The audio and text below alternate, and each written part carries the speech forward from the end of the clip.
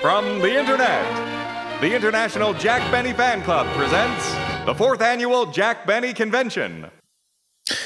Well, welcome back, folks. And now we are going to get ourselves a nice little treat. We're going to have a little tour through Jack's homes in Be- home in Beverly Hills, but we can't do this alone. So, with me tonight is one of the representatives from the Beverly Hills Historical Society and somebody who had his own little familiar history with Jack, not just because he knows where he used to live. Ladies and gentlemen, please welcome Phil Savenick. Thank you for inviting me. It's uh, going to be fun to tell some old stories about the old neighborhood. Wonderful. Um, uh, my parents moved to Beverly Hills in the mid 50s. So I and my mother's still in the house we've been living in for 60 years. Mm. Uh, Jack Benny bought his house in the 30s and lived up on Roxbury Drive. So I thought today I would tell you a little bit about Roxbury Drive which was the greatest movie star street in the world. mm-hmm. uh, I know I have a diagram of it a little bit. There we go. There we go. Yeah. Now, basically, uh, Jack lived at 1002 Roxbury, and his immediate uh, next door neighbor to the south was Lucille Ball and Desi Arnaz. And then across the street from them uh, was uh, Jimmy Stewart who lived at 918. Across from Jimmy were the Oscar Levants, uh, Hedy Lamarr, Jack Haley, um, Tommy Mitchell, Scarlett O'Hara's dad, Eddie Cantor. They all lived on Roxbury. And up the street, Jose Ferrer and Rosemary Clooney lived there next to Ira and Lee Gershwin. In the house next to Agnes Moorehead that had previously been Spencer Tracy's house. So you can see that that mailman had the best route in the universe. Uh, if we go to the next picture, you'll get to see Jack's house. it's still there. It's uh, not been torn down or ruined or otherwise remodeled out of all recognition, which many of the others have and he bought it brand new for $250,000 in 1937. It has nearly 15,000 square feet and boasts eight bedrooms and seven bathrooms. This was a mansion, this was a palace. But as you'll see, it was all done in wonderful taste because he and Mary lived there with, the, with their daughter Joan. So if you go to the next picture, this is it was the kind of house that had a pool with a giant octopus made out of tiles on the bottom. And of course, it was big enough for you to row a boat in. And Jack maintained through radio, television, the movies, that he was the cheapest man in the world. As you're going to find out, he actually wasn't. He was quite generous and he was quite lovely. Eh, we can go to the next one. This was Benny's living room. So, as you can see, even though it was a giant house with a lovely gardens and a yard, it was very livable, sitting by the fireplace, listening to the radio, this kind of thing. So, it was a very normal kind of thing. Um, now, the tourists could be really pesky. And the family that lived next door at 1000 between before the Arnazes uh, lived there, actually felt compelled to put up a big sign with an arrow pointing next door that says Jack Benny doesn't live here; he lives there. So uh, the tourists have always been coming out and around. Now, if we go to the next shot, that this is Jack's bedroom, and they had a little balcony upstairs, and it overlooked. It had a library, overlooked the pool. So basically, it was a normal house, a normal sized house, but it was la- uh, lavish by movie, radio, TV star standards.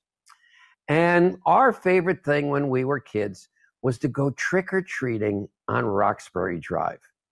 I don't know exactly why, whether we thought movie stars had bigger Hershey bars than everybody else, but that was the treat for us was to go trick or treating on Roxbury Drive. And that's where I learned about a very big secret about Jack Benny and the image and the reality.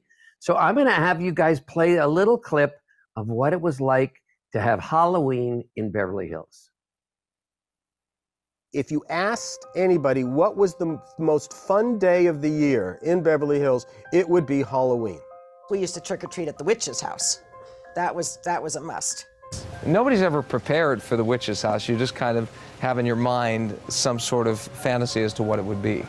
I'm Michael LeBeau. We're here at the world famous Witch's House, which is my house. It is landmark number eight, as known in the city of Beverly Hills. And I'm going to give you a private tour, so come along. Somehow it magically appeared on this site at Walden and Carmelita back in 1926, 1927. So what you see in here, most for the most part, is new and quite custom, but was designed to look as if it's 300 years old. From the broken tile to the hand-carved woods throughout, to the distressed cedar ceilings, each window in the home is different. Everything should evoke a feeling of an old home, yet it's basically new. What happens on Halloween is something that I expected but didn't really plan for initially. We truly get about 4,000 kids and adults mixed within about a four hour time frame. Now, trick or treating in Beverly Hills as a kid was one of the great experiences of my life, and the best street to trick or treat on was Roxbury Drive. Now, I remember it was 1957, and I was dressed as Santa Claus.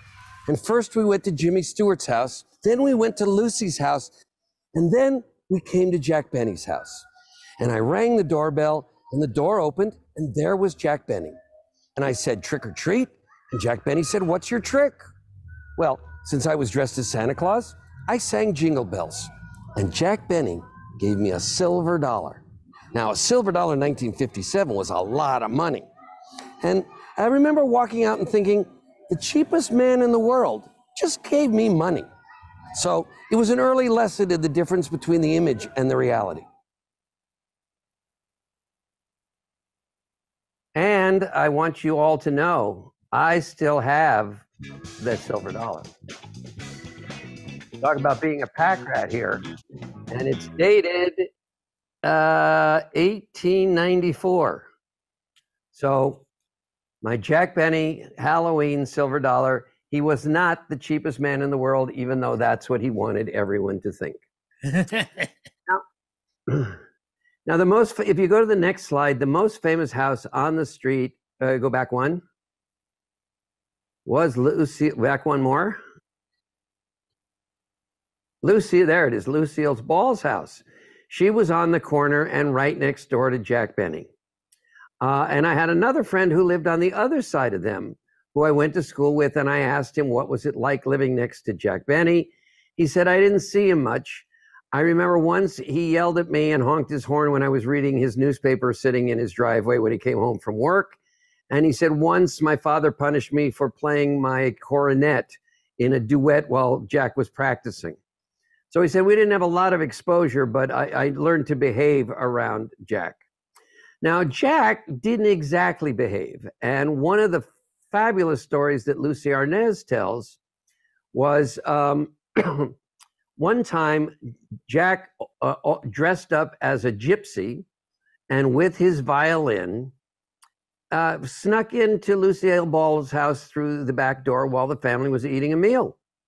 He was completely in character, playing the violin, going around the table. Well, Lucy was in tears from laughter and her husband Gary Morton gave Benny a tip, which, uh, oh, excuse me, which Benny took, by the way. but when Jack went back to his house, he realized he had was locked out. So they remembered all through the evening Jack yelling, "Mary, let me in! I locked myself out." And Lucy and the whole family just laughed through the whole thing. um, Lucy had bought the house in the 50s and lived there really until her death uh, in 1976. And then there have been some renovations to it. But basically, the, these were the heavy hitters of Roxbury Drive. Now, to fill in my story a little bit, when we went to Jimmy Stewart's house for Halloween, he had a bowl of hard candies. When you're seven, hard candies are not very interesting. When we went to Lucy's, some years she'd have a bowl with some candy by the, well, some years she'd invite you in. The kids were having a party. She'd have a black tooth. She'd dress as a witch. A lot of fun. Other years, there'd just be a bowl and it said, Don't you dare ring the bell. Uh, and then, of course, Jack, if you, you liked your trick, you got a silver dollar. Some of the stars, like Rosemary Clooney up the street, if she would run out of candy, she would give out autographed 8 by 10 photos. And, uh, but everybody was scrounging, but certainly Halloween on Roxbury Drive. So um, now we can go to those black and white pictures we saw. That's Lucy's house. Now, Lucy immortalized her house in an episode of I Love Lucy called The Tour.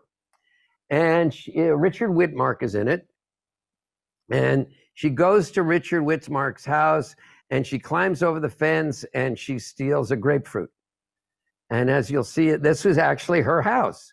He wouldn't let her shoot at his house, so she went and she shot in her own side yard.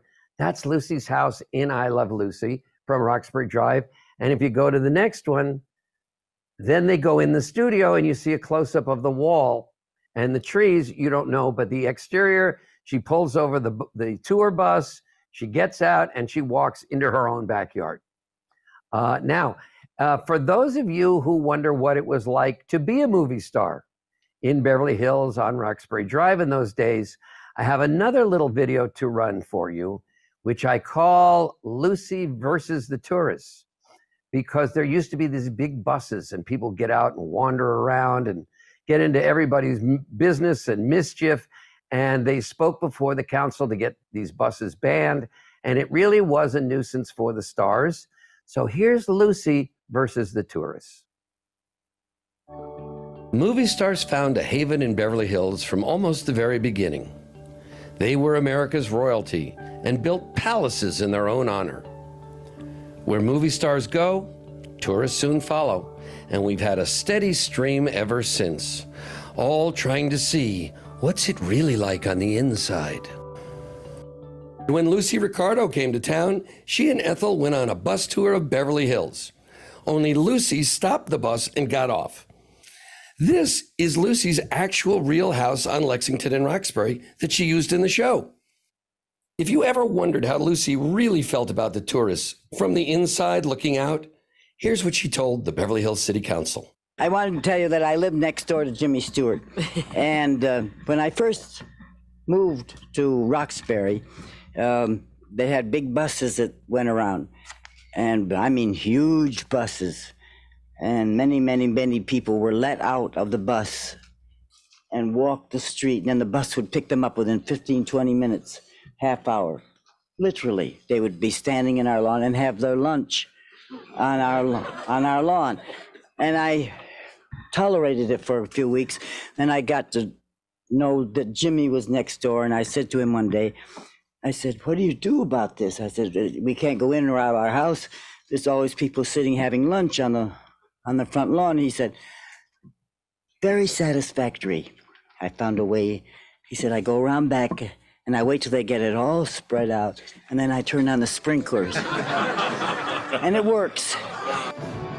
But I have a feeling that my wife and my kids and, and myself owe so much to Beverly Hills. We've been er, here as a family and grown up with this wonderful city for more than 40 years. It's, it's been a wonderful life for me and my family in Beverly Hills.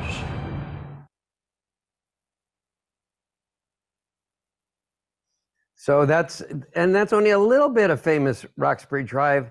There's more. Now, I'm thrilled that the people in this group may have heard this next name that I'm going to name. The name is George Gershwin, one of the great songwriters in the history of movies, Broadway, jazz, whatever it was. George Gershwin set the standard, Rhapsody in Blue, Porgy and Bess, things like that. Well, George lived on Roxbury Drive at 1019. And I think I've got a picture of that house if we come up next. Well, that was Lucy in her backyard with her dogs, but there we go. The next one, there we go. So both George Gershwin and his brother Ira lived in this house at 1019. Uh, now, in 1936, the Gershwin brothers wrote the music for Shall We Dance? Let's call the whole thing off. They can't take that away from me in this house.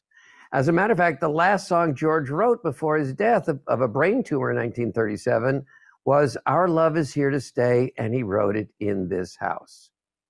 Uh, it was too sad for Ira to live there without George, and the memory haunted him. So he decided he would move next door. And Rosemary Clooney and her husband, Jose Ferrer, took over the house. Um, now, I think, all right. Now, Rosemary Clooney was married to Jose Ferrer for most of the 1960s, uh, although she did divorce him twice that decade. But more interestingly, they were actually have the the honor of having been stopped by the Beverly Hills police for violating Beverly Hills curfew by walking home from a party at Jack Benny's. There used to be a rule that if anyone was out walking at night or driving, the police would pull them over. Who are you? Where are you going? Where do you live? What? Well, they lived up the street. They're walking home from Jack Benny's. The police pulled them over. So they had that distinction. Now, for those of you with the next generation, Rosemary's son Miguel became an actor.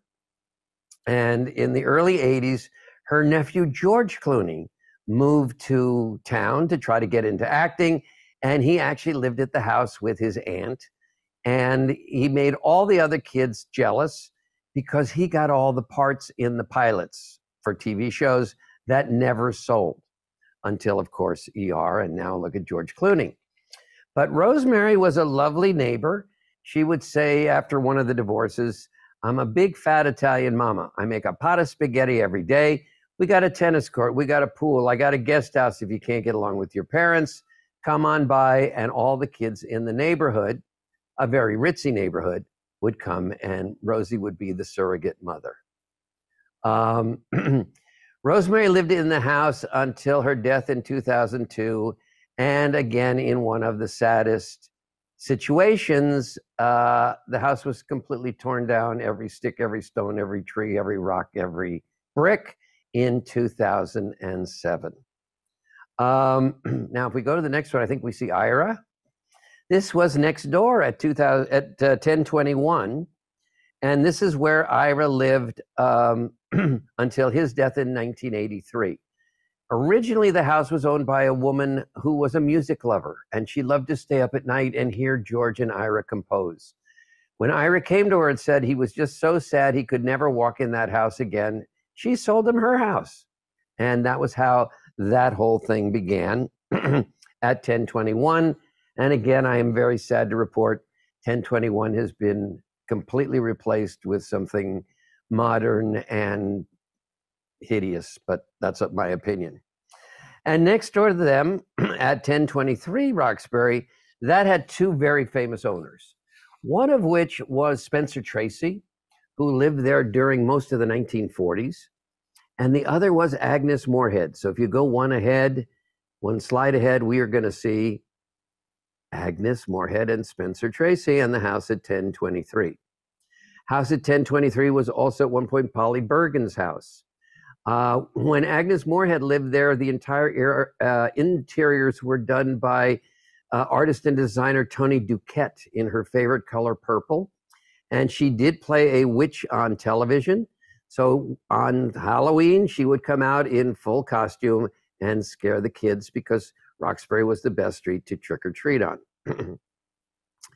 now, if we go to the next slide, uh, down the street at 906, Ginger Rogers lived there with her husband Lew Ayres. And what was in the 30s? And what was so interesting is Ginger was not a drinker. So she had the bar turned into a, a soda fountain. So people would go there for milkshakes and malts, but uh, no booze. Uh, across from her was Hedy Lamarr, lived on that street. Uh, beauty queen, who we now know is was a mathematical genius. But by far the most famous res- resident of that of the 900 block is this next picture, which is Jimmy Stewart. Jimmy Stewart had a, a house uh, next to the corner uh, on Roxbury. And at one point, he bought the house next door and had it torn down. so that he could use it as a garden because his wife loved to garden.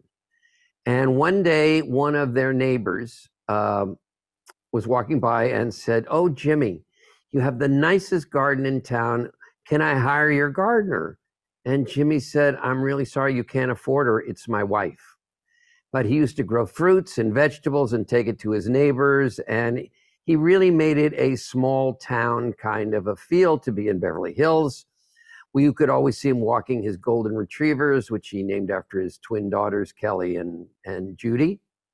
And on Christmas, he would read the night before Christmas at the Presbyterian Church, where his wife was the Sunday school teacher. So the house was originally built for King Vidor, uh, but it was demolished in 1998, a year after uh, Jimmy Stewart's death. Now, the next picture is what you saw. Uh, he, he, he, and, uh, and his wife loved to bicycle. And of course, if you rang your bell on your bike at them, they would ring their bell on their bike back at you. And that was always a thrill. The next picture is what you'd see if you actually got into the house. This was his living room, a lot of memorabilia from films and books and eclectic things. Uh, a, a, big library was de rigueur for movie stars, and you can see awards on the table. And the next still is, I think, the entry hall. So on Trick or Treat, you get that far in. and uh, he also had a picture that he had painted of Harvey the rabbit that was on the uh, entry hall wall. And then we'll go one more picture here. And oh, okay. uh, no, we'll go. Let's go back to uh, the Jimmy Stewart, and then I'll talk a little bit about the police. Uh, before Beverly Hills Cop, probably oh gosh, 30 years before Beverly Hills Cop, Jack Benny used to have fun playing with the Beverly Hills Police, playing jokes on them, using them in his shows. And here's a clip from Jack goes to the Beverly Hills Police Department. They were he was a big supporter. They-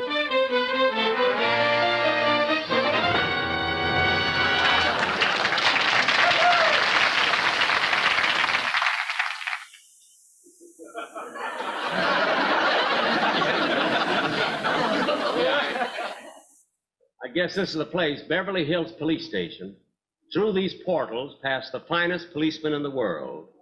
Uniforms by Adrian.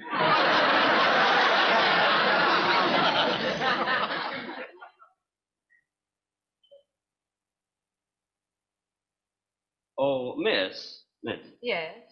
uh, I'd like to report a stolen car. Do you have an appointment?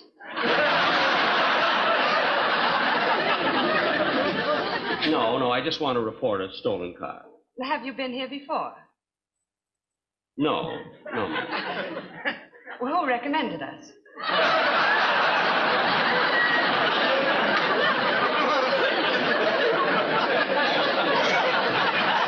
Duncan Hines.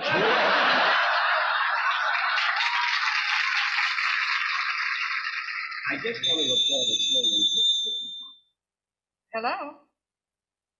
Yes, we still have tickets for the policeman's ball. The program? Well, we open with the overture from Tannhäuser, and then there will be a performance of the Swan Lake Ballet.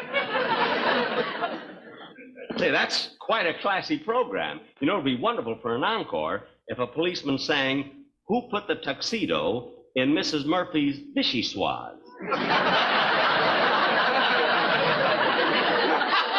we did that last year, a cappella, and it was beautiful.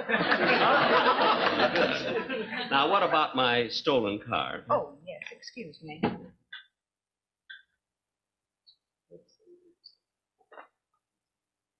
Very well, you may speak with Sergeant Vandermeer now. Oh, thank you. Uh, Sergeant Vandermeer? Yes? I'd like to report uh, my car was stolen. Do you live in Beverly Hills? Yes, yes, I do. What kind of a Jaguar was it? Well, it, it wasn't exactly a Jaguar. You see, it was. a- Mercedes Benz? No, no. It, uh, Come, come, mister. What kind of a car is it? well, it's a. It's a Maxwell.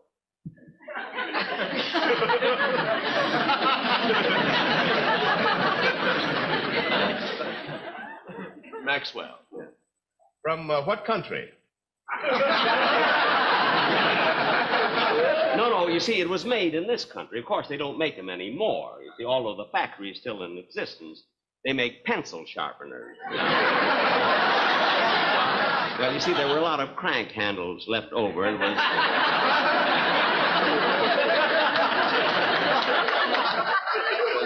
easy to convert. Oh, I, I see, I see. Uh, now, from where was the car stolen?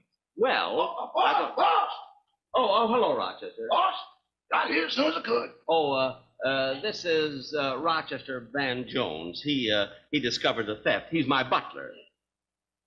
Oh, the butler, eh? Sit down, Mr. Van Jones. I'd like to talk to you. Now, recount in your own words just what happened during the entire day. Well, don't, don't worry, Rochester. I'm right behind you.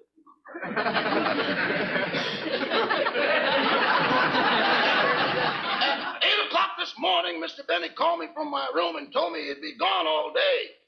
And he said while he's gone, he wanted me to clean the kitchen, scrub the floor, beat the rugs, wash the windows, polish the stove, wax the floors, and press his clothes. You were told to do all this at 8 o'clock, eh? And where were you at 8.15? Back in my room asleep. Rochester. Quiet, please. Now then, uh, Rochester, when did you discover that Mr. Benny's Maxwell was stolen? I heard the motor as it went out the driveway. Oh, I see. You were sleeping, but you just happened to wake up when you heard the motor, eh? I didn't just happen to wake up, it threw me out of bed.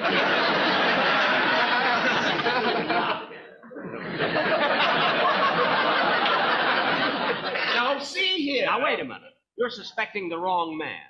Well, it's always the butler in the movies. I know, but this isn't the movies.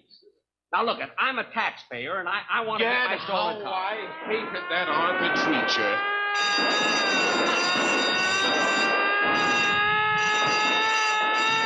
Excuse me, Sergeant. The prisoner in cell 29 has escaped. You mean that dangerous criminal we're holding for murder? That's the man. Well, he won't get very far. Get the hound. Yes, sir, the hound. The hounds? Hello. Hello, Chief. Alert all units. Dangerous criminal just escaped.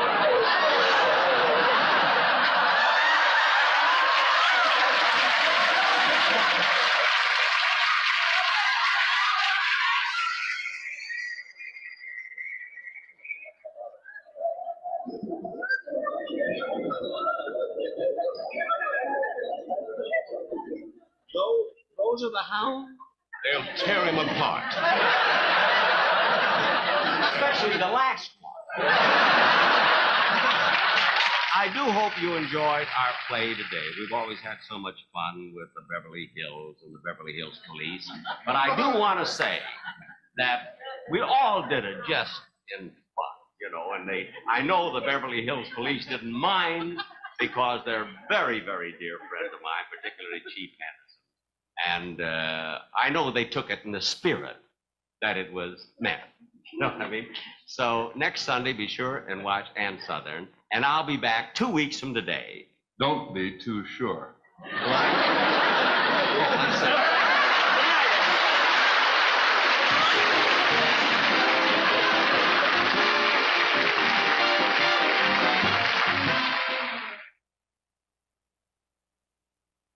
So that was Jack making fun of the Beverly Hills Police and vice versa.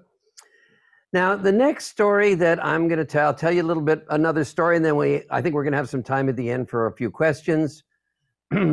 Every day for lunch, Jack Benny would go to Hillcrest Country Club, which was on Pico Boulevard, right across from 20th Century Fox, almost Beverly Hills. and uh, he would get together with all of his buddies, and they would all sit at the same table for lunch every day. And when I talk about his buddies, we're talking about obviously George Burns was at the table. The Marx Brothers were there, Harpo and Groucho. the Ritz brothers were there. Uh, uh, Harry, Al, and Jimmy, and they scared me as a kid because most of these comedians were serious in real life and crazy on screen. The Ritz brothers were pretty crazy off screen too.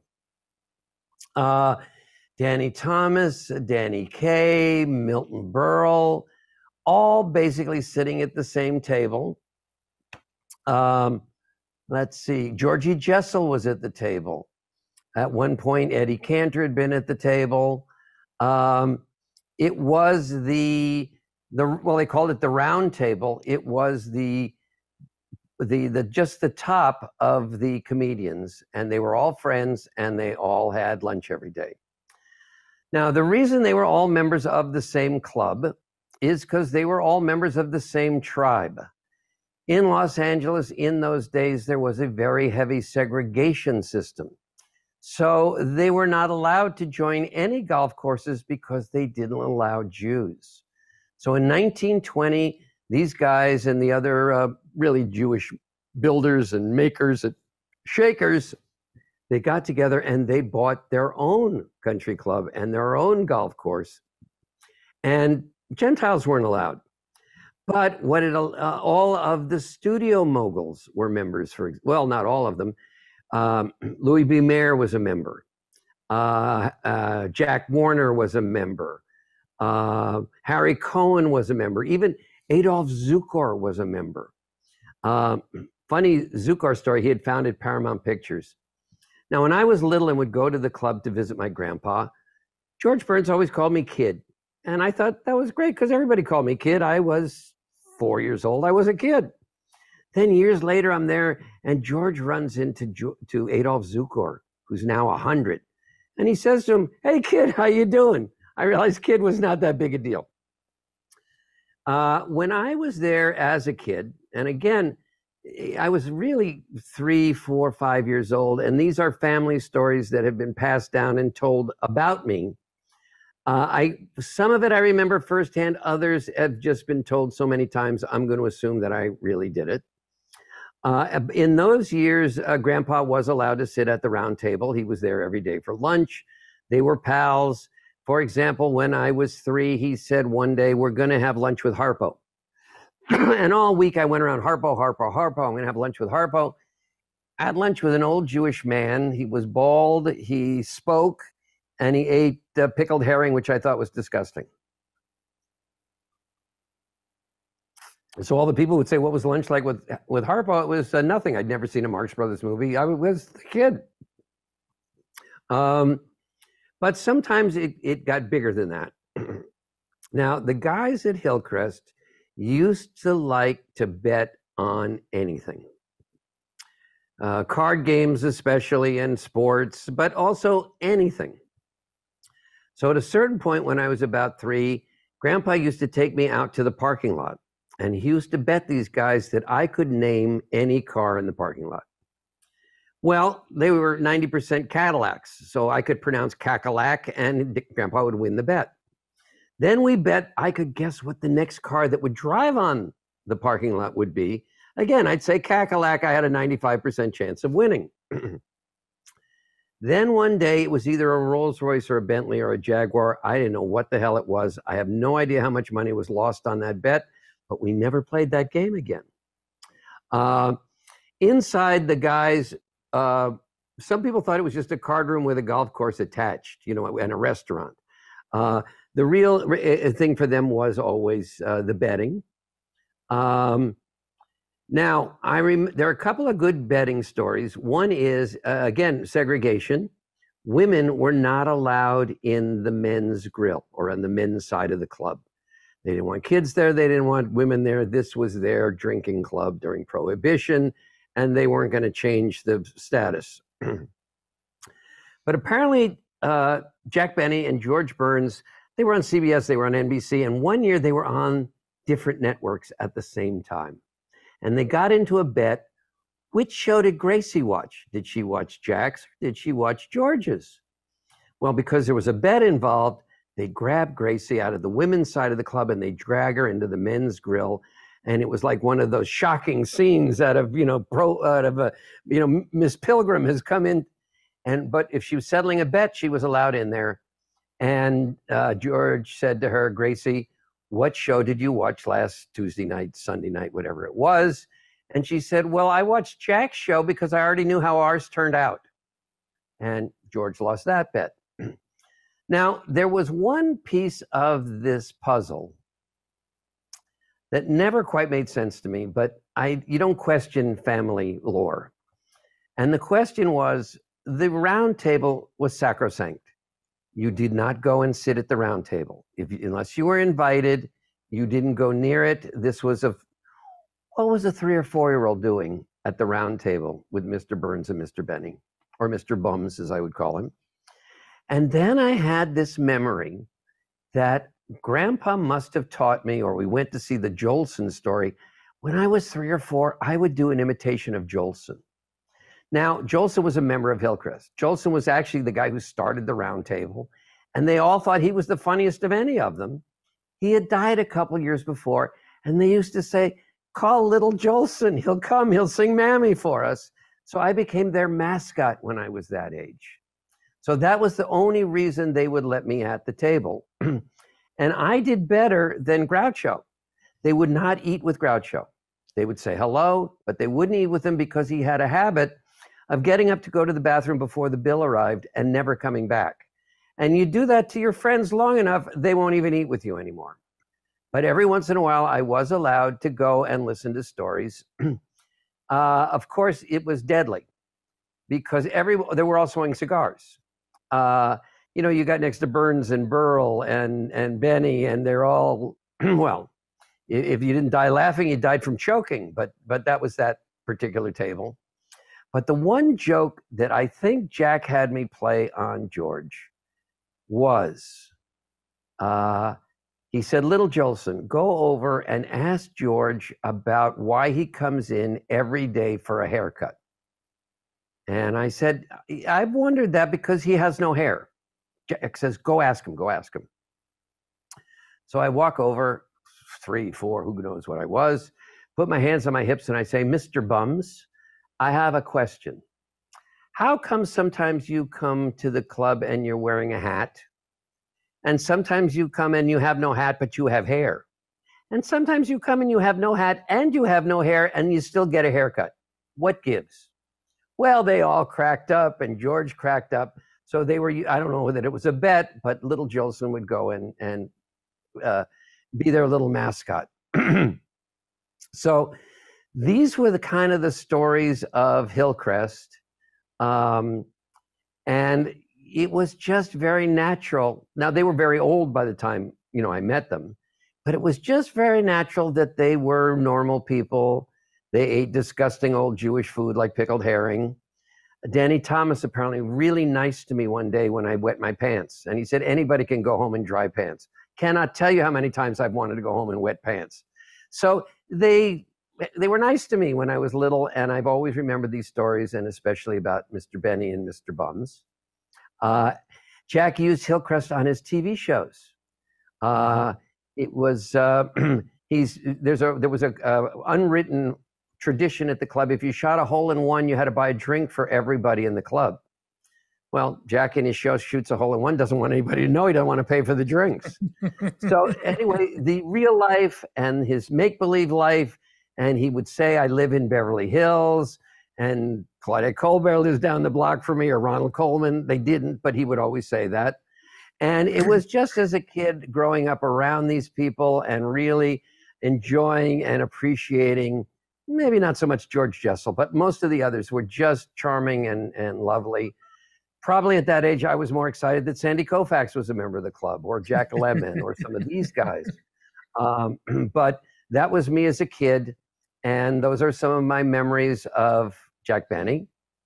And I just thought if we have a few minutes left, if anybody has any questions, yes, I would um, I would love to get some questions in there. Actually, we have one there uh, that actually you were talking about having grown up in that environment and having watched Jack on television or and having these clips on hand. Um, we've got a question from CL in the chat. He wants to know if any of the interiors depicted on Jack's show were anyway modeled after his other his original home. Um, have you ever noticed anything in your research? Well, I pulled a couple of pictures.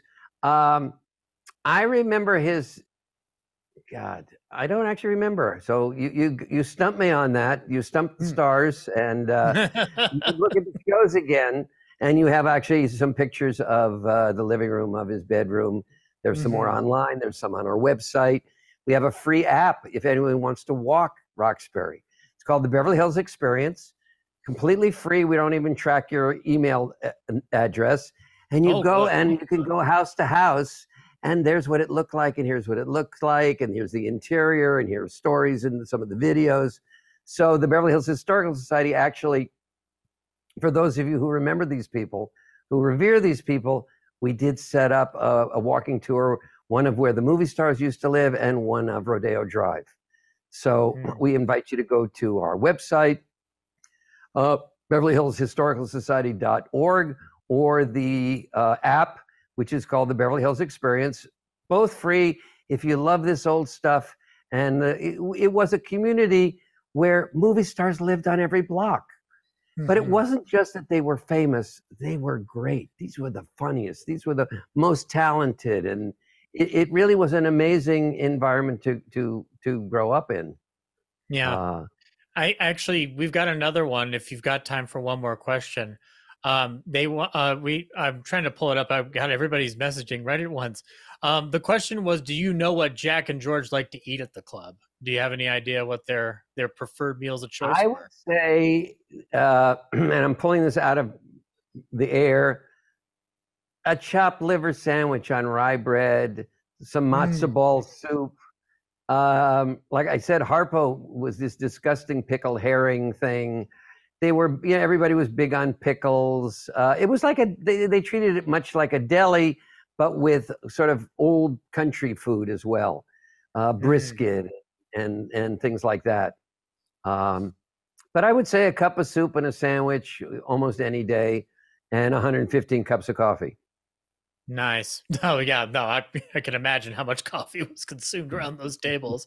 Yeah, and you mentioned the deli thing. I mean, like these are vaudevillians, and what is a vaudevillian if not somebody used to kind of eating around the skirts of a fancy restaurant when they're re- getting ready to perform or whenever they have time in between the afternoon and evening shows. Um, and I I was thinking of something in regards to the pictures you showed in the presentation. I don't know if it. I I can't say for certain if they ever modeled the production design off of Jack's actual home, but it feels like the aesthetic and whatever was, uh, uh, in architecture at that point kind of resembles parts of Jack's den in some television episodes. It's more just like this is what's familiar in terms of what are you going to present as a house on television. I don't know if it's like specifically designed, but it, I get the same feeling looking at these photos that I do of Jack of the Jack's home set. It's not the exact to the detail, but I could I could definitely feel the the energy of that era pressing The through books, the the, television. couches, the windows, the you know the basic. Listen, that was what a home looked like then. Mm-hmm. Nowadays, if if you had something that was eight bedrooms, it would be, and it, you know, it would look like a giant Holiday Inn. You know. Yeah. But in those days, everything had character, and it really felt like a home. One of his Mm-hmm. biggest regrets was selling it. And he'd drive by it and he'd say, Why did we ever sell this? But then he wouldn't pay what it would cost to get it back. You're right. Do I get to be the voice of God here? Yes. Oh, it does work. All right, just like we planned it. so Uh, take a look at, and I don't remember if it's Irving's book or if it's Milt's book, but one of the biographies talks about the debates that they had behind the scenes when they were trying to figure that set out because Jack is so cheap. He's going to live in a ramshackle place, right? Yeah, well, wait a minute, you know, and then Jack had his idea that it was supposed to look exactly like his home in Beverly Hills, and they settled on something in between. So I'll say go back and and look it up in the biography because it's there. There you go, CL. So we we've been able to to to pre potentially pre-solve a mystery. I like it. Um, and uh, Michael Rudolph, uh, Jack's grandson, did just point out in the chat, Phil, for something that he did enjoy uh, in Las Vegas between shows was a liverwurst sandwich. So There you go. Some Yeah. disgusting things like that. Absolutely. you got you got to say it right. It's liverwurst. Wait, sorry, sorry. I apologize for my Gentile pronunciations. Um, they also had not spent much time at home over their years because if you were on the vaudeville circuit, you were never in a home per No, se. So they really enjoyed being planted and having their club and the buddies and and uh, to me it was just fascinating. I just wish I knew who more of these people were, you know, back Mhm. when I had contact with them. I Uh, could I could say though as a as Laura the voice of God that you just heard is a fan of a big fan of not just Jack but Al Jolson. So I'm sure she got a nice little kick out of uh hearing that you charmed uh her first her first love with the the abilities of her second love. Oh, definitely. Actually, George Gershwin is my second love, but um, so so let's let's hear your Jolson. Ooh, oh yeah. Well, No, give I- it up. I will I have a feeling I sang Mammy. I have a feeling I got Oh. down on a knee, and I'm I'm way too old and and uh, dignified to do that anymore. But Jolson had just died a couple years before, Mhm. and he was all their favorite. And here was this kid who never had seen Jolson. I maybe had seen Larry Parks in the Jolson story, and here I was doing Jolson, and they just got a kick out of it. Or there would have been no way they would ever have invited me to uh, to listen to some of the joke. And there wasn't really jokes they'd tell. like I, re- the one I remember, and I'll remember others as they go. Um, Jack, George says to Jack, "You know, I feel terrible. Everything hurts. I think I'll go to the doctor." And Jack says, "Well, you know, that's funny. Nothing hurts me. I feel great. Maybe I should go to the doctor because if there's something wrong with me, he'll charge more." So they were kind of jokes. They kind of weren't. yeah. But they were also like, uh, very gracious to writers. yeah. If, if I'd Al attribute Gordon that had to that 1943 for a smoker in Cleveland, they would give him credit. yeah. And you do have an Al Gordon show coming up. I saw Mhm. Yes. again one of Jack's nice. writers, very funny man, lived in town, and Mm-hmm. uh, but yeah, the, it, it they were they the writers made the shows. They respected them, they depended on them, and uh, that was such a nice thing. And these Yeah. were just they were great. It wasn't that you know they were famous for being famous. They were famous because they were really funny. And the Mhm. clip of the Beverly Hills Cop that you saw, I ran it at the City Centennial uh, as part Mm. of the film. And afterward, uh, Joan Benny came up to me Mhm. and she thanked me for putting it in there. And she said, What I liked most about it was you didn't have some comedian say, You know, Jack Benny was really funny. You let dad be funny. And I'm sitting in the theater and people are laughing at dad because of what he was and what he did and not somebody's opinion. And he said, Just thank, she said, Thank you for doing that. It meant so much to me to hear the laughter. I can't think of a better way to, to to conclude the segment than hearing that story, Phil. Thank you so much for giving us this. Really quickly, one more time, let every, remind everybody where they can check out the Beverly Hills Historical Society and and all the amazing work that you do with it. Well, we have a website, uh, Beverly Hills Historical Society.org, with videos and stills and stories and maps and book uh, books on the history of Beverly Hills, all kinds of videos, even videos of our of the famous crime scenes. You know, the out. We kind of picture them so that you can. Um, you you can go actually go there walk by a lot of them look exactly the same as they had then we have this mobile app the beverly hills experience which runs on your phone. So if you want to start at the park here's stop number one stop number two and you can go on your own walking tour or driving tour of the homes of the former stars that lived everywhere. Uh, and also rodeo because that's still a legendary place. Um, and uh, again we we made uh, we also made uh, put history in the park so if you go to Mhm. the beverly hills sign for example we have a video there of what it looked like in 1906 or what uh, you know the story of the parks you know rodeo drive had nothing to do with horses and rodeos rodeo de las aguas was the meeting of the waters and the water came from coldwater canyon and benedict canyon suddenly we could build a little community because they had water so we Mhm. have great stories like that. Uh, Black History Month. The first landowner in Beverly Hills was a Black Latina named Maria Rita Valdez de Villa. She owned it all. She had the rancho from the Spanish. So they're just great stories of uh, how this little town became one of the most famous places in the world. And uh, I just can never forget when the streets were loaded with stardust and every restaurant you went to, it was you sat next. Well, uh, uh, Jimmy's restaurant, the Bistro, the Mhm. tables were literally a quarter of an inch apart. But if you had Dean Martin on one side and Zsa Zsa Gabor on the other side, nobody was complaining. you get the full experience essentially. It's full amazing. experience. Wonderful. Thank you so much, Phil. And